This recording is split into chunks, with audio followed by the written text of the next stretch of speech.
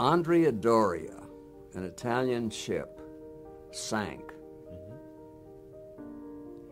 And this was one of the first times in live television of a remote, of going to the scene of a catastrophe. And that's when I first realized, I mean, the power, the power of television. And that you could see something while it was happening.